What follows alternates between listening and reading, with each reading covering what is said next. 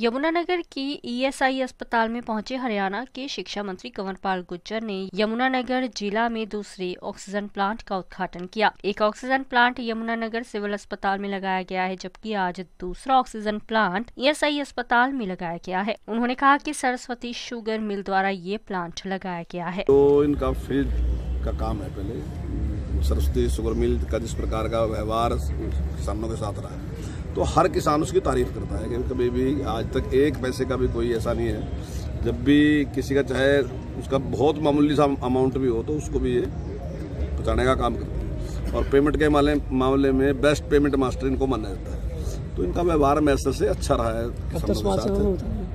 नहीं समाज सेवा में मैं समझता हूँ ये परिवार शुरू से ही था। पहले से ही मतलब जब डीडी पुरी जी थे वो भी करते थे।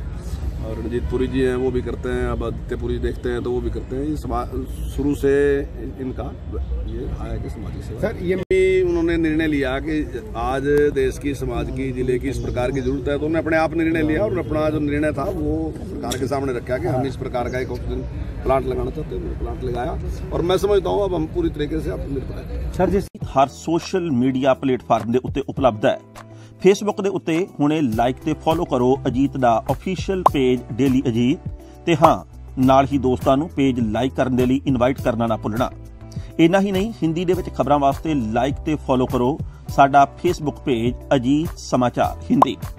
YouTube ਦੇ ਉੱਤੇ ਵੀਡੀਓ ਖਬਰਾਂ ਦੇਖਣ ਦੇ ਲਈ ਹੁਣੇ ਸਬਸਕ੍ਰਾਈਬ ਕਰੋ ਅਜੀਤ ਦਾ official YouTube channel Ajit web TV ਤੁਹਾਡਾ ਆਪਣਾ ਅਜੀਤ ਹੁਣ ਟਵਿੱਟਰ ਤੇ ਇੰਸਟਾਗ੍ਰam ਦੇ ਉੱਤੇ ਵੀ ਉਪਲਬਧ ਹੈ।